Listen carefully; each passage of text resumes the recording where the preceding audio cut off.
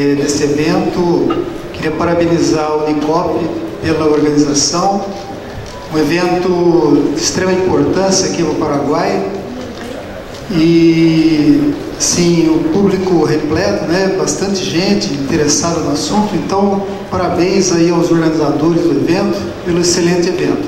A gente eh, vai falar sobre eh, construção de perfil do solo visando altas produtividades. Vamos tentar trazer para vocês eh, uma visão de como que se deve manejar o solo é, visando obter maior sustentabilidade associado a maiores é, produtividades. É, bom, é, vocês sabem muito melhor do que eu que o, que o Paraguai é um país é, que apresenta é, em sua região mais produtiva solos com problemas na fertilidade, solos com problemas de acidez, né, baixos valores de pH, é, com baixa disponibilidade de alguns nutrientes, né, entre eles o, o, fósforo é um nutriente crítico, né, cálcio, magnésio e potássio, e solos que apresentam baixos níveis de matéria orgânica. Não sei se vocês perceberam, mas todos, todos os palestrantes que me antecedeu é, não teve nenhum deles que deixou de falar da importância da matéria orgânica ou do carbono orgânico, que é a única solução realmente que nós temos para melhorar a capacidade produtiva dos nossos solos, é melhorar o seu manejo visando incrementar a matéria orgânica. Né? Então, é, manejar bem os nossos solos passa por um manejo adequado, visando aumento dos níveis de matéria orgânica é, com o tempo. E a acidez dos solos é um problema sério para o crescimento do sistema radicular. Por que, que a acidez do solo atrapalha tanto o crescimento do sistema radicular? Basicamente por dois motivos. Né? Um deles é a falta de cálcio então, a falta de cálcio restringe o crescimento radicular, por quê? Porque o cálcio é imóvel na planta. Então, se a raiz encontra uma região no solo onde o teor de cálcio é muito baixo, ela paralisa o crescimento ali. Paralisa porque a parte aérea não pode socorrer o sistema radicular. Daí a importância de ter um bom nível de cálcio em todo o perfil do solo. Né? E em condições mais ácidas, os teores de alumínio são maiores e o alumínio em mais altas concentrações afeta diretamente o crescimento do sistema radicular. Afeta, as raízes engrossam, os pelos radiculares ficam mais grossos, e isso atrapalha a, a absorção de praticamente todos os nutrientes. Né? Os nutrientes mais afetados são o nitrogênio, o fósforo, o cálcio e o magnésio. Então, quando a gente pensa no manejo do solo, a gente tem que enxergar dois caminhos, né? É, nesse manejo. A gente precisa proporcionar condições para que haja é, um adequado crescimento do sistema radicular em termos de comprimento e distribuição. Então eu preciso ter um comprimento do sistema radicular que seja suficiente para atender a demanda nutricional da planta. Agora não adianta as raízes estarem todas concentradas na superfície porque é, se eu não tiver raízes em camadas mais profundas, o primeiro estresse hídrico, a primeira seca, seca a camada superficial e não, e não tem, a planta não tem como absorver água nos períodos mais críticos. Então é fundamental que haja também uma adequada distribuição do sistema radicular ao longo do perfil do solo. E para que a gente consiga né, é, proporcionar um, um bom comprimento, uma adequada distribuição das raízes, algumas mudanças a gente tem que pensar em termos de manejo, né? E algumas delas, né, o pessoal que já me antecedeu aqui já comentou, é, o que, que a gente pode fazer, né? É, e quais são as mudanças que a gente tem que implementar para melhorar o crescimento do sistema radicular, o comprimento e a distribuição das raízes. Bom, o primeiro aspecto importante é aumentar a produção de palha dentro do plantio direto. Então, assim, para que a gente tenha êxito no acúmulo de carbono no solo ao longo dos anos, a gente tem que pensar no manejo de palha acima de 10 toneladas por hectare anualmente. Então, por exemplo, se o teu sistema está produzindo mais do que 10 toneladas por hectare de palha por ano, tá bom. está num bom caminho. Quanto mais distante de 10, melhor. Se o teu sistema está produzindo menos de 8 toneladas por hectare de palha, ele está no caminho da degradação. Esse sistema vai dar problema, vai ter mais problemas com compactação. Vocês viram aqui todos os problemas que a compactação causa no crescimento das plantas. Vai estar no caminho da perda do carbono e da degradação total. Então, aumentar o aporte de palha no plantio direto é fundamental melhorar a rotação e a diversificação de culturas, aqui a doutora Fátima já é, explanou muito, muito, muito detalhadamente, muito bem esse assunto, né? e melhoria química para o crescimento do sistema radicular. Então nós temos que ter também, quimicamente, condições favoráveis para que haja o crescimento do sistema radicular. E não existe milagre, isso aqui tem que andar junto, né? Então tem que produzir mais palha, tem que diversificar mais o sistema e tem que melhorar quimicamente o perfil para que haja condições para um adequado crescimento do sistema radicular ao longo é, do perfil do solo. Bom, como é que a gente pode melhorar quimicamente o perfil visando um maior crescimento de raízes? Então, dentro desse, desse aspecto, é, nós temos dois insumos importantes, né? Um deles é o calcário. Então a calagem é fundamental para a correção da acidez. É, no caso do plantio direto, né, o, o, existem dois momentos, o plantio direto existe a implantação do sistema, existe a manutenção do sistema. Então na manutenção, o calcário é aplicado sobre a superfície, o calcário aplicado superficialmente tem uma ação mais limitada no solo, então ocorre muita melhoria é, nas camadas mais superficiais quando a gente aplica calcário em superfície. E como é que fica o subsolo? Né? Eu tenho que ter um bom nível de cálcio em todo o perfil do solo. Né? Então, para melhorar o subsolo, nós temos o gesso, que é um insumo é, que tem ocasionado muitas melhorias, né? É, num curto espaço de tempo, a gente pode fazer muitas melhorias por meio do aumento dos níveis de cálcio e redução da toxicidade do alumínio. Reparem que o gesso ele não é um corretivo da acidez, o gesso ele não tem ação corretiva, ele não aumenta o pH do solo, mas ele a, atua é, em, em, duas características fundamentais para o crescimento do sistema radicular, que é o aumento do nível de cálcio e a redução da toxicidade do alumínio em camadas mais profundas. Então, se a gente souber trabalhar bem esses dois insumos, né, o, o calcário e o gesso, né, a gente vai conseguir construir um perfil quimicamente muito mais favorável para o crescimento do sistema radicular e a minha função aqui é tentar mostrar para vocês alguns caminhos para que a gente possa conseguir isso, tá ok? Começando aí falando um pouco da calagem, né? Então, os principais corretivos que são usados na agricultura, visando a correção da acidez, são rochas calcárias moídas, né? Que são constituídas de minerais com a calcita e a dolomítica, as quais possuem carbonatos de cálcio e de magnésio em sua composição. Então são esses carbonatos de cálcio e magnésio que vão é, proporcionar a correção da acidez do solo. Então o, car o carbonato de cálcio e de magnésio se dissocia né, em contato com a água, se solubiliza, dissocia em cálcio ou magnésio, bicarbonato e hidroxila, e o bicarbonato e a hidroxila são consumidores de prótons de hidrogênio. Por isso que o pH sobe, né? Então veja, a, a, o bicarbonato consome H+, e transforma em CO2 mais água. A hidroxila consome H+, e, e, e converte em água. Então, é, à medida em que esses ânions, eles consomem esses prótons de hidrogênio, o pH sobe. Por isso que ocorre neutralização da acidez. E ao mesmo tempo, o alumínio se precipita na forma de hidróxido. Agora reparem que o alumínio ele se precipita na forma de hidróxido como um reflexo do aumento do pH, mas ele não desaparece do sistema. Ele fica ali precipitado, ou seja, se o solo acidifica de novo, esse alumínio solubiliza de novo e volta a incomodar a planta novamente.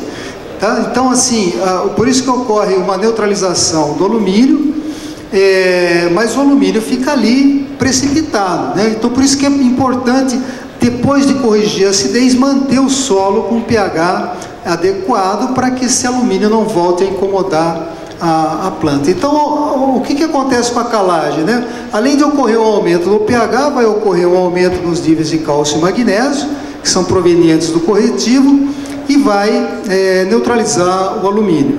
Para que ocorra uma neutralização efetiva da acidez, né, a gente tem duas características importantes é, nos corretivos que diz respeito à granometria, né, que a, a granometria ela dá o tom da velocidade com que vai ocorrer a reação, né, que é a reatividade do corretivo, e o poder de neutralização, que é o quanto de bases que tem dentro do corretivo para neutralizar o hidrogênio, para neutralizar a acidez. Né? Então, quanto maior o valor de PN, né, mais bases neutralizantes tem dentro do corretivo, melhor vai ser o corretivo em termos de qualidade para a correção da acidez. E, ah, basicamente, né, esse poder relativo de neutralização total, que é o PNT, é, ele congrega essas duas variáveis, mostrando assim, olha, se o corretivo tem um PN alto, ele vai ter uma ação mais rápida se a granulometria for mais fina né? porque o contato do, do, corretivo com o solo vai ser maior. Então, quanto mais fino é o corretivo, mais, rápida é a, é a ação é, do PN né, na correção da acidez. Quanto mais grosso é o corretivo, mais lento né, vai ser o contato, o contato vai ser menor e mais lenta vai ser a reação do corretivo. Então, esse é um índice importante para que a gente faça correções da dose adequada para a aplicação de calcário no solo. Quais são os benefícios né, que, que, esperados com a correção da acidez do solo por meio da aplicação de calcário? Então, a, a, a calagem, o aumento do pH com a calagem favorece o crescimento das raízes, estimula a atividade microbiana, promove insolubilização de alumínio e manganês. Repare que o alumínio e o manganês eles alcançam níveis tóxicos quando o pH é muito baixo. Né? Então, a calagem aumenta o pH e reduz a toxicidade de alumínio e manganês e aumenta a disponibilidade de, de, de vários nutrientes, né? nitrogênio, fósforo, cálcio, magnésio, enxofre e molibdênio são os mais importantes. Então a gente costuma dizer o seguinte, que a calagem é a prática que mais aumenta a eficiência do uso de fertilizantes. Então, por exemplo, se o produtor é, ele fizer uma adubação em um solo ácido, ele pode ter êxito com uma adubação em solo com alta acidez? Pode, mas ele vai ter que usar mais adubo para ter o mesmo resultado né, e, e colher é, relativamente bem em relação a um outro produtor que usa calcário adequadamente, o solo mais bem corrigido, ele pode trazer economias importantes no uso de fertilizantes. E lembrando que os fertilizantes, eles assumem hoje na agricultura atual, uma fatia relativamente grande dentro do custo de produção. Então, assim, é, é, fazer economia com calagem não me parece ser uma prática, vamos dizer assim, interessante do ponto de vista econômico, porque os fertilizantes pesam muito mais né, é, na soma do custo de produção. Então, assim, como a calagem ela traz, ela aumenta muito a eficiência do uso dos nutrientes e aumenta muito a eficiência é, da adubação, é, solos mais bem corrigidos vão demandar menos fertilizantes e vai trazer economias dentro do processo produtivo.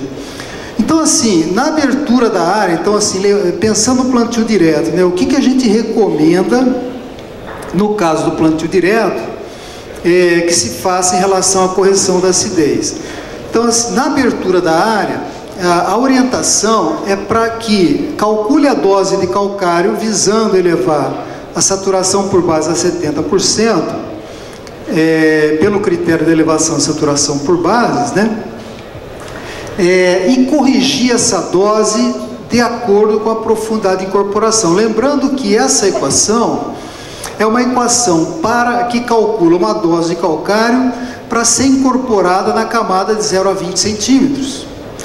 E se eu for incorporar mais profundo, a 30, por exemplo, eu tenho que multiplicar essa dose por 1,5.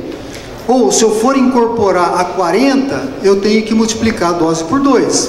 Né? Então, a dose de calcário calculada aqui, ela é uma dose calculada para a incorporação numa camada de 20 centímetros. E quanto mais profunda for a incorporação da implantação do sistema, melhor. Por quê? Porque a ideia é, depois do sistema estabelecido, não mexer mais. Né? Fazer um bom manejo, né? com produção de palha, com diversificação de culturas, e não mexer mais no sistema. Aliás, assim, quanto menos mexer no sistema, mais vai acumular carbono.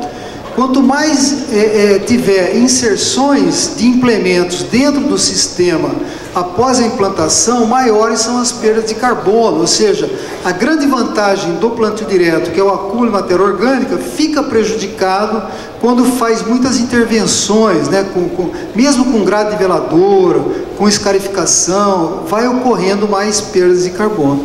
Então, assim, caprichar na implantação e incorporar o calcário o mais profundo possível no momento da implantação. Por que, que é importante é, incorporar bem o calcário e profundamente? Esse trabalho aqui é um trabalho bem recente, né, que foi feito aqui na universidade na UFLA, né, a Universidade da, da, da doutora Fátima Moreira, é, que ele trabalhou com incorporação a 40 centímetros da implantação né, do, do, do, plantio direto na região das vertentes, no Brasil, em Minas Gerais. E veja que a quantidade de raízes é proporcionalmente maior quando se incorpora mais profundamente, né, e à medida em que aumenta a dose de calcário na incorporação. Então, por isso que precisa corrigir a dose né, para uma incorporação mais profunda, visando que uma melhoria na correção do perfil na implantação. Depois que o sistema é implantado, qual que é a ideia? É de não mexer mais e fazer um bom manejo com plantas de cobertura, com rotação de culturas, né, com maior diversificação possível de espécies dentro do sistema. Só que a gente sabe uma coisa, implantou bem, implantou bem. Como o sistema ele recebe adubos nitrogenados obrigatoriamente, e os adubos nitrogenados eles são muito acidificantes, né? O solo vai acidificar de novo. Só que aí, depois do sistema implantado, a gente vai fazer calagem sobre a superfície. E aí nós temos que ter é, a noção de que a calagem superficial ela demanda tempo de reação para a correção da acidez. Né? Aqui nesse trabalho, a gente fez um acompanhamento durante 10 anos né, da calagem superficial, foram doses 0,246 toneladas por hectare, uma única aplicação e um acompanhamento de 10 anos. E reparem que a máxima reação do calcário aplicado sobre a superfície até 10 centímetros ocorreu por volta de dois anos e meio da aplicação. Então eu aplico o calcário na superfície hoje e vou ter a máxima reação até 10 centímetros daqui dois anos e meio. E depois de dois anos e meio, camada de 10 a 20, nenhuma reação aí, nenhuma reação. A reação na camada de 10 a 20 centímetros, ela começa a aparecer quando começam a diminuir os efeitos nas camadas mais superficiais, mostrando que, que houve uma saturação de bicarbonatos nas camadas mais superficiais, o bicarbonato em excesso, ele pega o cálcio e o magnésio para acompanhar e desce e vai corrigir uma camada logo abaixo. Então, por isso que a reação é lenta e gradual. Depois de dois anos e meio, começa o efeito na camada 10 a 20, há um pequeno aumento no pH na camada 10 a 20, mas veja que, mesmo 10 anos depois, esse aumento na camada de 10 a 20 centímetros, ele não é muito expressivo com uma única aplicação. Né? E aí o que, que a gente observou? Que quando a gente fez uma reaplicação é, em um solo que já havia recebido calcário anteriormente, então nesse estudo aqui, Sete anos depois da aplicação de 6 toneladas, nós fizemos mais uma aplicação de 3 toneladas. E aí o que, que aconteceu? Veja que na camada superficial dilatou o efeito no pH, no cálcio, né? como esperado. Só que o efeito ele também aumentou em profundidade. Né? Aumentou mais o pH, né? ali aquela linha branca, aumentou mais o pH nas camadas mais profundas, aumentou os níveis de cálcio nas camadas mais profundas, reduziu o alumínio e a saturação por alumínio a níveis não tóxicos em todo o perfil, né? só com calagem em superfície, mas isso depois de 10 anos das duas aplicações. E esse trabalho aqui, ele trouxe um aprendizado importante para a gente, mostrando o seguinte, que se a gente souber fazer uma quantificação adequada de calcário sobre a superfície e acertar as reaplicações de calcário sobre a superfície, com o tempo, nós vamos ter uma correção no perfil inteiro. Mas para isso, eu preciso acertar a dose e a frequência de aplicação. Né? Fundamental. Não adianta aplicar, querer aplicar tudo uma vez só, que não vai ter um efeito bom, se a gente não acertar a frequência da reaplicação de calcário sobre a superfície. E depois, assim, de muitos anos é, conduzindo uma série de trabalhos com calagem superficial, a gente chegou a algumas recomendações, algumas orientações de recomendação para calagem em superfície, que são as seguintes. Primeiro, é importante é, quantificar a dose de calcário sobre a superfície é, na camada de 0 a 20 centímetros. Então, como é que eu vou calcular a dose para ser aplicada em superfície? Eu vou considerar a camada de 0 a 20 centímetros, né? que essa sempre foi uma dúvida relacionada ao plantio direto. Se eu, eu pego uma camada mais superficial, ou pego a camada de 0 a 20? 0 a 20. Eu calculo a dose para levar o V a 70%. Né? Por que a dose para levar o V a 70%? Então, todos os estudos que nós fizemos até hoje, é, ele mostrou que 70% foi o valor da saturação por bases que trouxe o maior retorno econômico.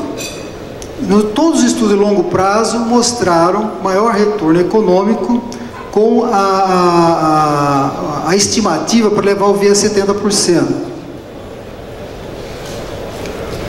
E aí, nos estudos também que nós fizemos, a gente observou o seguinte, que essa dose calculada para levar o V a 70%, se eu aplicar de uma vez só na superfície, ou aplicar parceladamente em até três anos, não traz diferença, por quê? Porque o efeito da calagem se dá em longo prazo.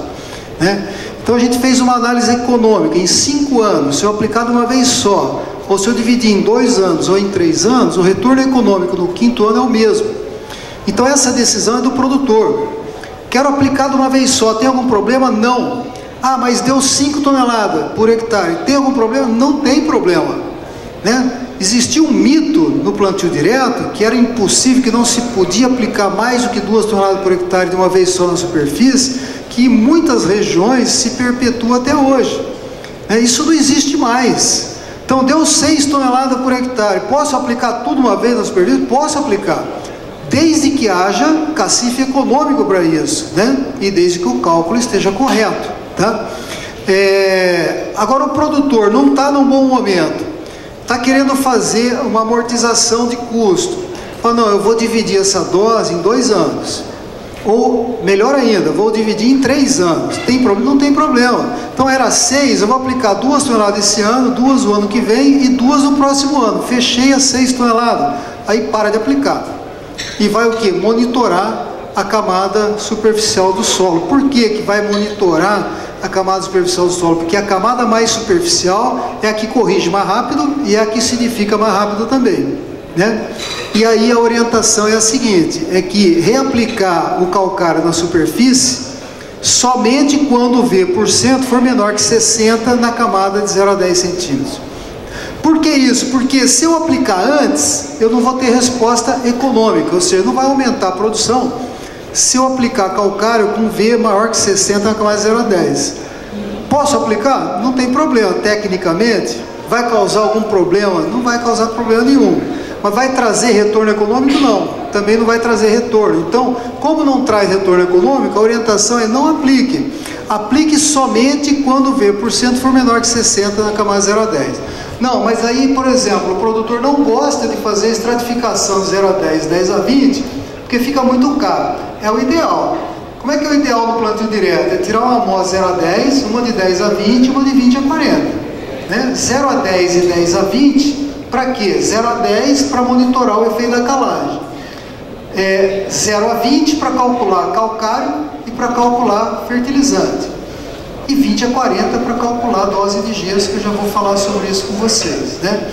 Então, dessa forma, o que, que acontece? Quando eu monitoro a camada 0 a 10, eu nunca coloco calcário demais, né, em excesso, que pode causar alguns problemas com alguns micronutrientes, principalmente manganês, é, e, e, nem aplica o calcário de menos, né, que, seja, que, que, que não dê quantidade suficiente para que possa agir em profundidade ao longo dos anos. Né?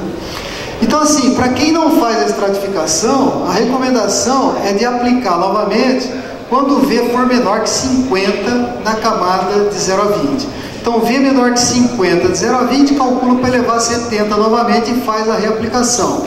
Então, quanto tempo vai levar isso aqui? Depende, depende do solo, depende do quanto que choveu, depende é, do quanto de calcário que foi aplicado. Então, esse efeito pode levar, uma aplicação de calcário pode levar 3 anos, pode levar 4, 5, 6, 8 anos para eu precisar fazer uma nova reaplicação. Né? E é muito melhor monitorar em função de caracterização química, no V%, do que em função do tempo. Né? Ah, vou aplicar calcário a cada 3 anos. Nem sempre é, todos os solos vão precisar né, exatamente do mesmo tempo de reação. Alguns vão precisar aplicar calcário antes, dois anos, outros três, quatro anos, outros cinco anos, e monitorando eu consigo fazer um uso mais racional e mais adequado é, do calcário aplicado na superfície. Agora, enquanto o calcário não age em maiores profundidades, porque ele leva tempo, né, o calcário em superfície demanda tempo de reação ao longo do perfil, e o produtor, logicamente, que ele não vai esperar 10 anos para ter uma melhoria do perfil do solo, né? Aí nós temos o gesso, né, que é um insumo fantástico aí, que pode proporcionar muitas melhorias né, é, no perfil do solo. E eu quero aqui aproveitar a oportunidade e dizer para vocês que é, o Brasil hoje é considerado o país no mundo que tem o maior volume de pesquisas com uso de gesso na agricultura. Né? Então isso acho que é motivo de orgulho né, para os brasileiros, é, porque hoje nós podemos ensinar uma boa parte é, de como utilizar gesso para o restante do mundo. Então isso começou no passado, começou aqui no Brasil na década de 80, né, esses estudos, que já mostravam aqui uma boa parte que eu vou falar para vocês, por que usar o gesso? Né? O que, que o gesso faz no solo? Né? Então, assim, quando a gente aplica o gesso, que é o sulfato de cálcio de hidratado, ele se dissocia, né, em cálcio e sulfato e vai formar também uma espécie única de CaSO4 carga zero na solução do solo. E como é carga zero, ela não tem influência das cargas negativas. E como não tem influência das cargas negativas, esse complexo ele desce com a água da chuva. Então, CaSO4 carga zero desce com a água da chuva. Se tiver alumínio em profundidade, o alumínio ele desloca o cálcio, o alumínio é trivalente, o cálcio é bivalente, desloca o cálcio e forma o AlSO4+, e libera o cálcio em profundidade. Né? Esse cálcio em profundidade ele pode trocar mais alumínio, que vem para a solução para formar mais AlSO4. E qual que é a vantagem de formar LSO4? É que o LSO4+, é uma espécie de alumínio que não é tóxica à planta. E o AL3+, é a espécie de alumínio mais tóxica que existe para as plantas. Então, quando o AL3+, ele é convertido em AlSO4+, diminui a toxicidade do alumínio. E aumenta o nível de cálcio em profundidade. Então, são duas coisas que atrapalham o crescimento da raiz. Né? A falta de cálcio então aumenta o nível de cálcio e a toxicidade do alumínio, reduz a toxicidade do alumínio. E lembrando também que o aumento de cálcio em profundidade por si só, ele reduz a saturação por alumínio. Né? Então quando você aumenta cálcio, a saturação por alumínio cai. E caindo a saturação por alumínio, cai a atividade do alumínio na solução do solo também. Então diminui ainda mais a toxicidade do alumínio. E isso é ótimo, por quê? Para o crescimento do sistema radicular, né? Aumenta cálcio, reduz a toxidez do alumínio. Então, quando que eu vou pensar em utilizar gesso? É quando o subsolo, abaixo de 20 centímetros, tiver níveis tóxicos de alumínio ou falta de cálcio, né? Agora, esse é o efeito legal, o efeito positivo do gesso. Quais são os cuidados né, que a gente tem que ter com o uso de gesso? Né? Alguns cuidados é que, além dessa movimentação de CaSO4 carga zero, o aumento de cálcio na solução do solo, nas camadas superficiais após a aplicação de gesso, causa um desequilíbrio. Aumentou muito o cálcio na solução, o que, que acontece com esse cálcio que está sobrando na solução? Ele vai trocar outros cátions que estão na fase sólida, como é o caso do magnésio e do potássio. Então, por exemplo, o cálcio em excesso, ele troca magnésio, vem para a solução. O magnésio encontra o sulfato do gesso aplicado e for, vai formar MgSO4, carga zero, que também desce no perfil. Em profundidade, quer dizer, essa movimentação do MgSO4 carga zero, em profundidade vai agir exatamente como o CaSO4 carga zero. Vai ser bom em profundidade. Só que na camada superficial, veja que o magnésio está saindo da superfície e indo para o subsolo. Então, dependendo dos níveis de magnésio na superfície, isso pode ser preocupante. Então, se você fizer uma aplicação de uma alta dose de gesso em um solo que não tem um bom nível de magnésio, você pode causar uma deficiência de magnésio na planta e causar um, um, assim, uma queda de produtividade ao invés de um aumento da produtividade, porque a queda do magnésio pode ser pior que a melhoria do subsolo que o gesso vai proporcionar. Então, qual que é a orientação aqui? Olha, eu quero usar gesso para melhorar o subsolo. O que, que é uma prática recomendada? Primeiro corrija a acidez, primeiro corrija a acidez e depois aplique o gesso. Aplique a acidez, né? corrija a acidez com o quê? Com calcário dolomítico. Por que calcário dolomítico? Porque tem mais magnésio. Porque a movimentação de magnésio após o uso de gesso ocorreu em todos os trabalhos feitos com gesso no mundo. Então, uma certeza, apliquei uma dose relativamente alta de gesso, vai movimentar magnésio. Então, como é que eu garanto um bom nível de magnésio? Aplique calcário dolomítico. E o calcário dolomítico, a gente fez estudos de longa duração mostrando que quando se faz correção da acidez do calcário dolomítico, eu não preciso me preocupar com a perda de magnésio proporcionada pelo gesso. Então, primeiro corrige a acidez com calcário dolomítico. Pode ser, por exemplo, durante o inverno, faz, né, ou antes do inverno, faz a calagem. Antes do verão, aplica o gesso. O gesso dá para aplicar próximo da semeadura né, um dia, dois dias, três dias, uma semana, sem nenhum problema, com uma ação ótima já na safra que vai entrar. Por quê? Porque o gesso é bem mais solúvel. Então dá para fazer a calagem antes do inverno e o gesso antes da cultura de verão. Ou dá para fazer a calagem esse ano e o gesso no outro ano. Mas faz a calagem antes, porque vai aumentar a eficiência do processo. O pessoal tinha muito medo que o gesso também causasse perda de potássio. Né? A gente fez muitos estudos e o que, que acontece? O, mag... o cálcio em excesso, além do magnésio, ele troca potássio também. O potássio vem para a solução e pode formar o KSO4-, que poderia se movimentar também no perfil do solo. Então esse era um efeito esperado inicialmente que a gente não observou. Não observou por quê? Porque o potássio ele é um nutriente extraído em grandes quantidades pelas culturas e quando o cálcio troca potássio, a planta muitas vezes absorve antes de movimentar. Então o que a gente começou a observar? Que o gesso aumentava a extração de potássio pelas plantas e não a lixiviação de potássio no perfil do solo. Então hoje eu posso dizer para vocês assim, com muita tranquilidade, olha, o potássio é motivo de preocupação com os de gesso? Não. Esqueça, o, o gesso vai melhorar a eficiência de uso de potássio. O gesso vai melhorar a extração de potássio pela planta. Com o que, que eu devo me preocupar? Magnésio. Como é, como é que eu resolvo o problema do magnésio? Faça a correção com calcário dolomítico. Pronto, muito simples de ser resolvido. E eu preciso me preocupar com mais alguma coisa em relação ao uso de gesso? Não. O restante é só melhoria que ele vai proporcionar ao longo do perfil do solo.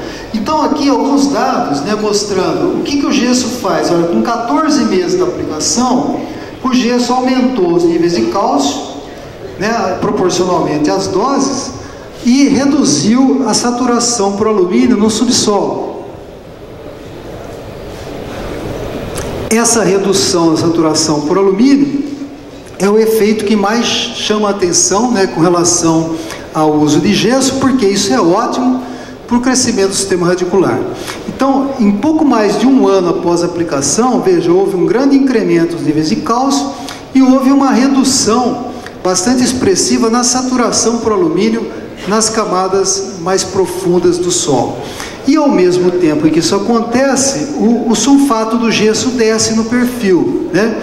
Então veja que são três anos e meio após a aplicação. O que aconteceu com o sulfato? Né? Proporcionalmente à dose aplicada, o sulfato ele vai descendo e vai sendo absorvido no subsolo. Então o sulfato desce e fica absorvido no subsolo. E esse efeito aqui, pessoal, ele é totalmente esperado, tá? Porque a tendência do sulfato é descer no perfil mesmo. E a gente, ao aplicar o gesso para melhoria do subsolo, a gente quer que esse sulfato desça o mais rápido possível. Por quê? Porque é ele que vai levar o cálcio para as camadas mais profundas e, e ao aumento do cálcio que vai reduzir a saturação para o alumínio.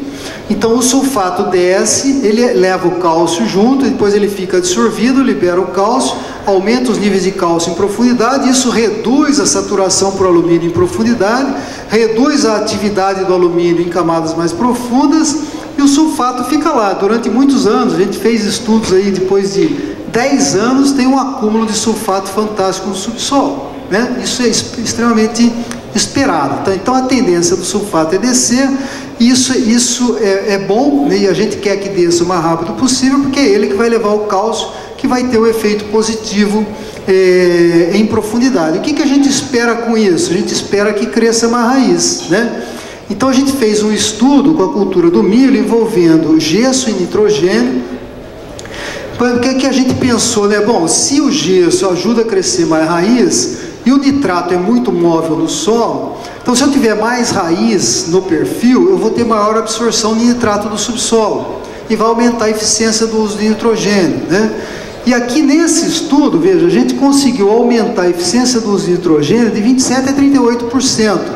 Né? Isso é extremamente expressivo, considerando que a eficiência média de utilização do nitrogênio da adubação nitrogenada no Brasil gira em torno de 50%. Né? Então, 50% do nitrogênio usado na adubação é perdido de alguma forma. Então, um, uma melhoria de 27% a 38% na eficiência do uso de nitrogênio com a utilização do gesso. E por que, que melhorou? Melhorou porque cresceu uma raiz. Né? Aqui a gente avaliou no campo, nós observamos um aumento de 76% no comprimento das raízes de milho, até 60 centímetros de profundidade com uso de gesso na dose de 60 kg de N em cobertura, e um aumento que variou de 36 a 38% no comprimento radicular nas maiores doses de nitrogênio, 120 180 kg de N.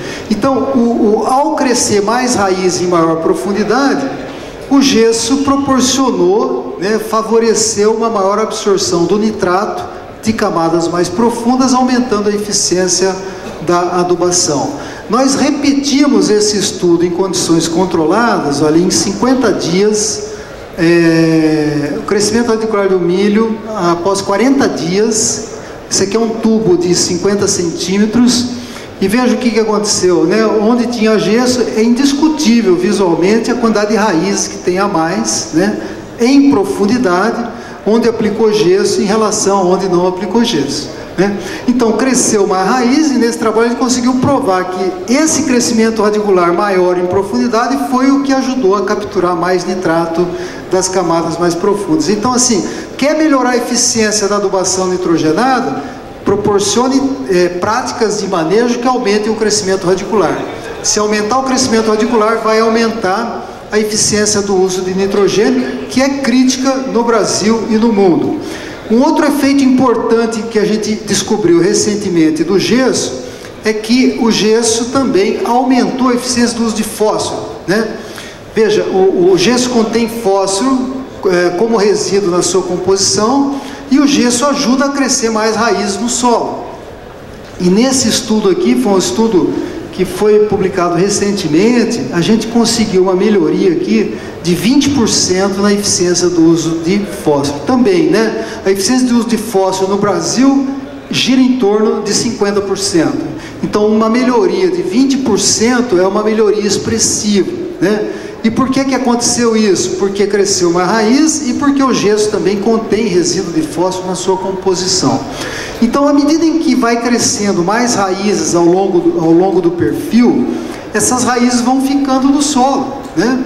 Aí, por exemplo, plantei milho, cresceu uma raiz, aí colheu. Aí plantou soja, cresceu uma raiz, colheu. Só que nós não estamos vendo isso. Ao longo de vários e vários anos, o que, que vai acontecer? Toda essa massa de raízes vai ficando no perfil do solo. E a gente fez uma quantificação aqui nesse trabalho, mostrando que a gente iniciou esse experimento aqui em 1998 e nós quantificamos aqui 158,4 toneladas por hectare de carbono na camada de 0 a 60 centímetros. Né? É, 15 anos depois, em 2013, quantificamos novamente, 164,6 toneladas, um aporte de 6,2 toneladas por hectare de carbono em 15 anos. Quem que fez isso aqui? O plantio direto. A gente estabeleceu o plantio direto em 98 numa área de pastagem e 15 anos depois o plantio direto proporcionou um acúmulo de 6,2 toneladas por hectare de carbono.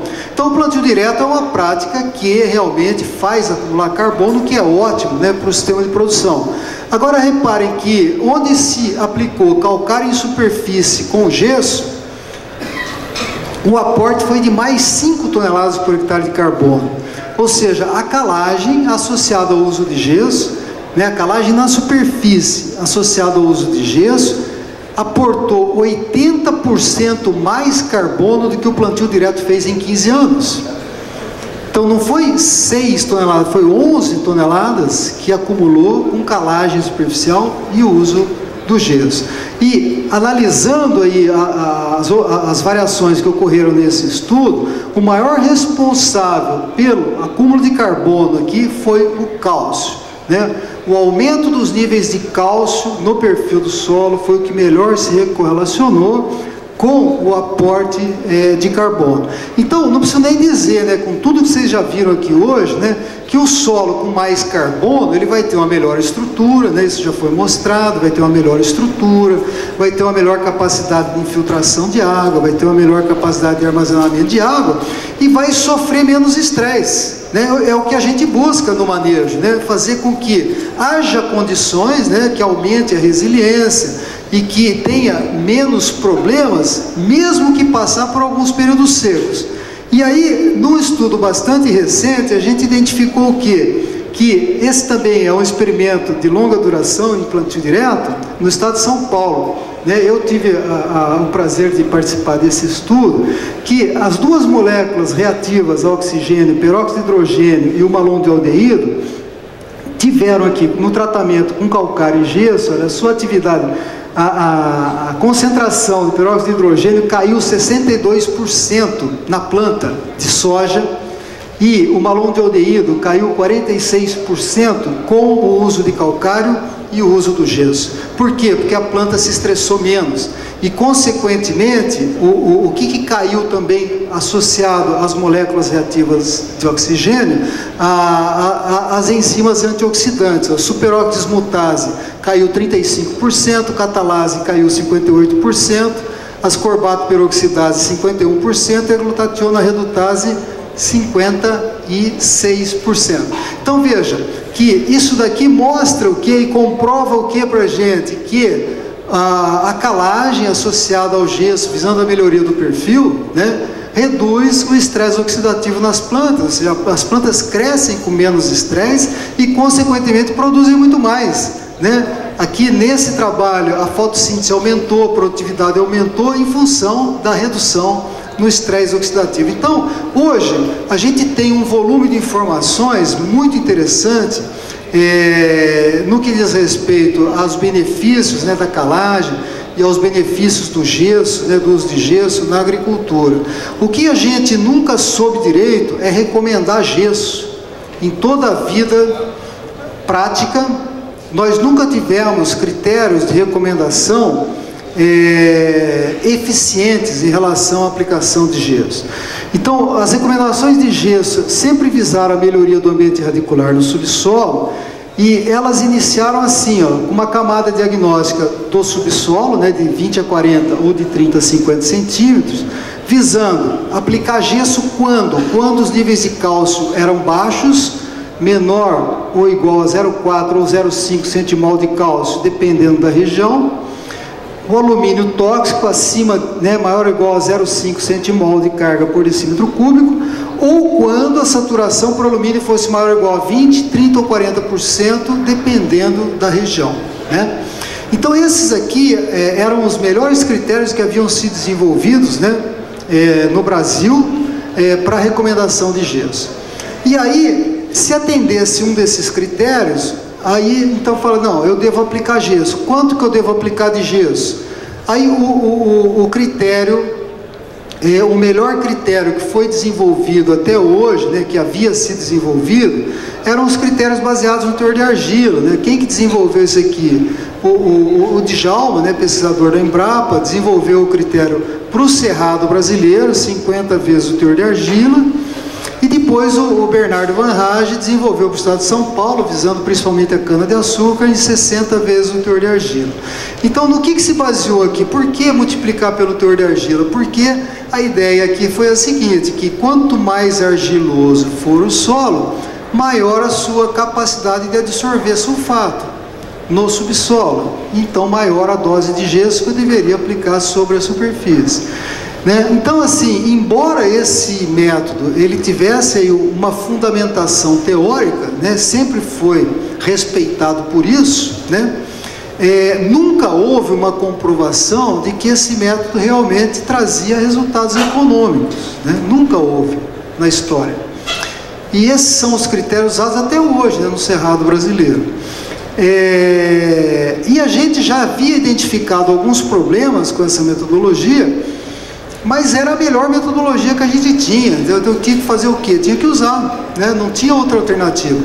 E, e não é difícil de vocês é, observarem problemas. Né? Vamos pegar aqui no Paraguai, né? vocês devem identificar isso. Vamos pegar dois solos, por exemplo, com 40% de argila. Né? Dois solos tem 40% de argila. Então, vamos supor, se eu pegar 50 vezes 40, dá 2 mil quilos por hectare. Então a dose de gesso seria de 2 mil quilos por hectare para dois solos né, com 40% de argila. Agora imagine que um deles tivesse 25% de saturação por alumínio e o outro 80% de saturação por alumínio. Eles têm o mesmo teor de argila, mas o, valor de saturação por alumínio é muito diferente. O nível de acidez no subsolo é muito diferente, mas eles iriam receber a mesma dose. E depois de um tempo né, que esse gesso atuasse no solo, eu iria reaplicar gesso. Qual dose? A mesma, porque o teor de argila não muda. Então aquele solo estava condenado a receber a mesma dose de gesso a vida toda. Né, então assim, a gente sabia que esse método é, tinha problemas, mas era o melhor método que a gente tinha. E é, é era uma meta antiga nossa, desenvolver um novo critério de recomendação, foi muito difícil e em 2018 a gente conseguiu desenvolver essa nova metodologia, né? A gente publicou esse trabalho em 2018. Esse trabalho está com acesso livre para quem quiser baixar do Agronomy Journal e ler, né? É, eu fiz questão de, de pagar a taxa para deixar em acesso livre pela importância que tem o trabalho, o impacto que ele pode ter na agricultura mundial. É, e traz esse, esse, esse, esse trabalho, traz uma nova metodologia, que eu vou mostrar rapidamente aqui para vocês. É, esse novo método, então, ele se baseia num conceito diferente para aplicação, para cálculo da dose. Né? Ele se baseia em que? Na camada de 20 a 40, e ele se baseia na elevação da saturação por cálcio na CTC efetiva do subsolo, da camada de 20 a 40, a 60% quando for menor que 54%.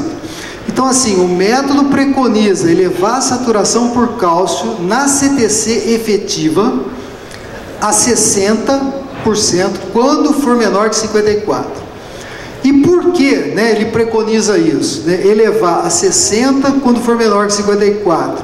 Porque nós identificamos que a, as maiores. houve uma correlação forte entre a produtividade das culturas e a saturação por cálcio na CTC efetiva da camada 20 a 40. E as maiores produtividades, elas ocorriam em que intervalo? Entre 54% e 60%. Então, se eu mantiver o solo nessa profundidade, entre 54% e 60% é, de cálcio na CTC efetiva, eu vou estar trabalhando com o máximo potencial produtivo. Né? Ah, e aí, quando a gente enxergou então elevar a 60, quando for menor que 54, significa o quê? Eu vou sempre estar trabalhando na faixa ótima. Né? É, aí a gente desenvolveu a equação Só que assim, confesso para vocês o seguinte, pessoal, que é, hoje, né, quando a gente fala sobre isso, parece um negócio, bom, primeiro, por que considerar a CTC efetiva? Porque a, o gesso, ele não tem capacidade, viu pessoal, de atuar na CTC potencial do solo, porque a CTC potencial do solo engloba o hidrogênio. E o gesso, ele não tem ação no pH.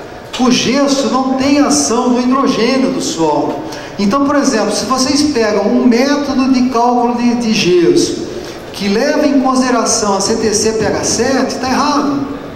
Se vocês pegam um método de recomendação de gesso que leva em consideração o V%, está errado.